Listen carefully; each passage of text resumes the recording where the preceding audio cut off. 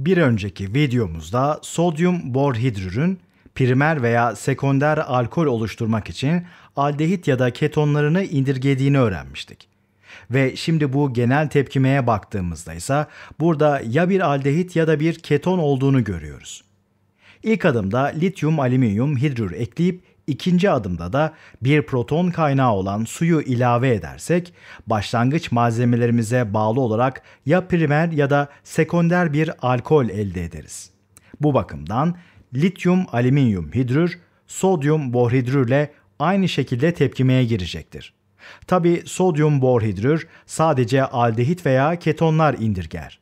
Karboksilik asit veya esterleri değil. Ancak lityum alüminyum hidrür bunları indirgeyebilir. Şimdi burada bir OH görebiliyoruz ve bu bir fonksiyonel karboksilik asit grubu. Burada H'ı çıkartıp yerine bir alkil grubu yani R üssünü koyarsak ester elde ederiz.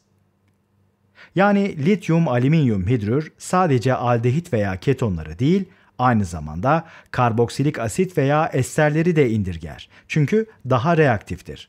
Bu yüzden bu ikisine ayırmamız gerekiyor. Yani lityum alüminyum hidrürün olduğu aynı tepkime kabında suyu kullanamayız. Çünkü bununla daha hızlı tepkimeye girecektir. Tekrarlayacak olursak ürünümüz başlangıç malzemelerine bağlı. Aldehitlerin veya ketonların lityum alüminyum hidrürle indirgenmesi mekanizması sodyum borhidrürün mekanizmasına benziyor. O zaman şimdi bir esteri indirgeyeceğimiz mekanizmaya geçelim. Şimdi buraya aşağıya bir ester çizerek başlayalım. Şöyle bir karbonilimiz mevcut. Oksijenin ortaklanmamış elektron çiftlerini de koyalım. Şu tarafta ise bir R üssü grubumuz olacak. Evet, esterimiz böyle. Şimdi buna fazladan lityum alüminyum hidrür ekleyeceğiz. Molar denklik açısından şuraya önce bir lityum alüminyum hidrür koyalım. Li artı.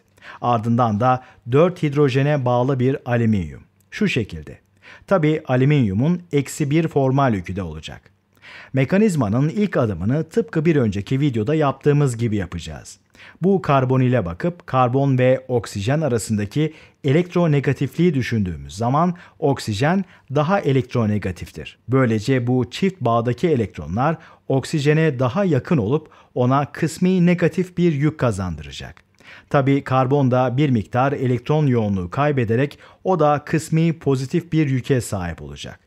Evet böylece karbonil karbonumuz elektrofildir ve elektron isteyecektir. Ve elbette bu iki elektrondan elektron alacak. Evet, iki elektron bu karbona saldıracak ve bu nükleofil saldırısının ardından da buradaki elektronlar oksijene geçecek. Bu ilk adımımızdı. Yani nükleofil saldırısı. Öyleyse çizmeye başlayalım. R grubumuz yanında karbon. Oksijenle karbon arasında çift bağımız mevcuttu ama artık tek bağ var. Çünkü buradaki elektronlar oksijene geçmişti. Tabii bu durum oksijene eksi bir formal yük de veriyor. Alt tarafta ise artık hidrojenle bir bağımız oluyor. Şurada halen oksijen ve R üssü grubumuz mevcut. Bu tepkimedeki diğer adımda karbonilimiz yeniden oluşacak. Buradaki elektronlar buraya geçerek karbonilimizi yeniden oluşturabilir mi? Böyle olursa karbonun 5 bağı olur ki bunun asla olamayacağını biliyoruz. Yani buradaki elektronlar kırılıp oksijene kapanacaklar. Şimdi bunun sonucunu çizmeye geçelim. Evet, R grubumuz karbona bağlı. Tabii artık karbonilimizi yeniden oluşturuyoruz. Oksijenimiz yeniden iki tane ortaklanmamış elektron çiftine sahip. Hidrojenimiz ise yine burada. Yani bu durumda bir R üssü grubuna bağlı oksijeni kaybetmiş olduk. Şuraya çizecek olursak oksijenin artık 3 tane ortaklanmamış elektron çifti ve dolayısıyla eksi bir formal yükü oluyor. Nispeten elektronegatif olan oksijen bu formal yükün üstesinden gelip nispeten kararlı olabilir. Evet, şimdi elimizde bir aldehit var. Tabi bu tepkimenin aldehitle yeniden olabileceğini biliyoruz. Şimdi elimizde fazladan lityum alüminyum hidrür bulunmasından dolayı başka bir tepkime yapacağız. Ve bu da az önce yaptığımız gibi olacak. Evet, şuraya yeniden lityum alüminyum hidrürü çiziyoruz. Oldukça reaktif olmasından dolayı bu tepkimenin ikinci kez meydana gelmesini durduramazsınız. Şimdi yapacağımız şey tamamen aynı. Şurası kısmi negatif yüklü oksijen ve burası da kısmi pozitif yüklü karbon. Tabi karbon elektron isteyecektir. Bu yüzden buradaki elektronlar bu karbona saldıracak ve hidrojeni buraya bağlayacak. Buradaki elektronlar da oksijene geçecek. Evet, şimdi bu nükleofil saldırısının ürününü çizelim. Evet, R grubumuz şurada. Hemen yanında karbon var. Ona bağlı oksijenimiz bulunuyor.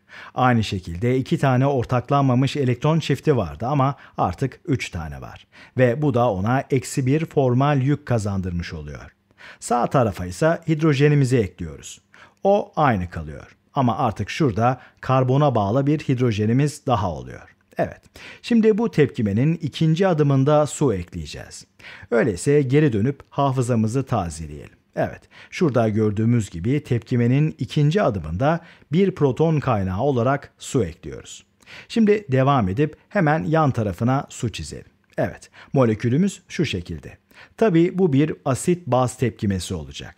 Evet, şimdi bu ortaklanmamış elektron çifti bu protonu alacak ve ardından burada yer alan elektronlar oksijene geçecek. Yani alkoksit anyonumuzu protonlayacağız ve nihayetinde alkolümüzü oluşturacağız. O zaman şuraya çizelim. R grubumuz şöyle. Ardından oksijeni hidrojene şöyle bir bağlıyoruz. Tabii artık iki tane ortaklanmamış elektron çifti kaldığından formal yükünü kaybediyor. Evet aslında şurada ne yaptığımızı görebiliyoruz. Başlangıçtaki karbonil karbonumuza iki hidrojen ekledik. Bu bizim başlangıçtaki karbonil karbonumuz. Eğer şuraya bakacak olursak ona bağlı herhangi bir hidrojen bulunmuyor. Bu hidrojenlerin her ikisi de lityum alüminyum hidrürden geldi. Yani bu ve şu. Böylece bu tepkime iki kez gerçekleşmiş oldu. Eğer bu tepkimeyi karboksilik asitle yaparsanız yine benzer bir mekanizmayla karşılaşırsınız. Tabii ona geçmek için pek vaktimiz yok. Ama şunu söyleyeyim ki sonunda aynı ürünü elde edersiniz. Tıpkı burada olduğu gibi başlangıçtaki karbonil karbona iki hidrojen eklemiş olursunuz. Evet şimdi bu tepkimenin kimyasal seçiciliğine bir bakalım. Şimdi sodyum, borhidrür ve lityum alüminyum hidrür hakkında bilgi verdiğimize göre kullanacağımız bu reaktiflerin hangisinin daha iyi olduğuna bir bakalım. Önce şöyle bir benzen halkamızı çiziyoruz. Şimdi bu halkaya bağlanan diğer maddeleri ekleyelim. Burada bir çift bağımız var. Takibinde de fonksiyonel bir aldehit grubu ortaya çıkıyor. Diğer ucunda ise bir ester oluşturuyoruz. Şu şekilde. Evet, şimdi farklı reaktifler kullanarak bu molekülün farklı kısımlarını nasıl seçici bir şekilde dönüştürebileceğimize bakalım. Diyelim ki sodyum borhidrürü eklediğimiz bir tepkime yapıyoruz. Şuraya not alalım. İkinci adımda da bir proton kaynağı olacak. Evet, şimdi ne olacağını düşünmemiz gerekiyor. Sodyum borhidrür sadece aldehitler ve ketonlar için seçicidir karboksilik asitleri veya esterleri indirgemez. Yani sadece bu molekülün sağ üst kısmındaki aldehitle tepkimeye girecektir. Şuraya çizebilir miyiz bir bakalım. Evet, şimdi bunu sağ üst kısımdaki aldehitle tepkimeye sokacağız.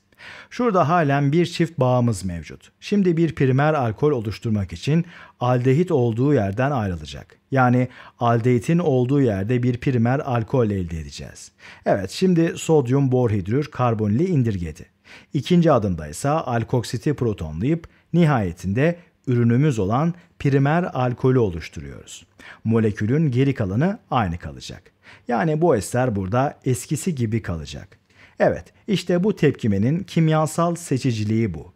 Şimdi diyelim ki yine aynı yapılarla başladık ve bu kez ilk adımımızda lityum alüminyum hidrür ekledik. İkinci adımda ise su ekliyoruz. Tabi lityum alüminyum hidrür aldehitler ve ketonları ve ayrıca esterleri de indirgeyecektir. Elimizde fazladan bulunan bu lityum alüminyum hidrür molekülün bu aldehit kısmıyla tepkimeye girecek. Ayrıca molekülün şuradaki ester kısmıyla da tepkimeye girecek. Yani her ikisini de indirgeyip alkolümüzü oluşturacak. Öyleyse şimdi ürünümüzü çizmeye çalışalım. Önce hiç dokunmadığımız benzen halkamızı çizelim. Yukarıda şurada lityum alüminyum hidrüründe primer alkol oluşturacağını biliyoruz. Aşağı baktığımızda ise orada fonksiyonel bir ester grubumuz vardı.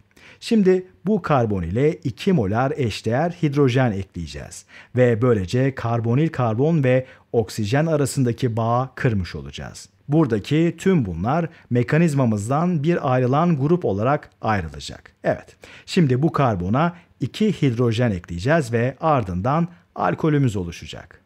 Şöyle iki hidrojeni bu karbona eklememizle aşağıda da bir primer alkol oluşturmuş oluyoruz. Tıpkı az önce tartıştığımız mekanizmada olduğu gibi. Yani lityum alüminyum hidrür kullanarak esterlerin indirgenmesi söz konusu. Peki buraya bir hidrojen gazı ve metal katalizör olarak paladyum eklersek ne olur?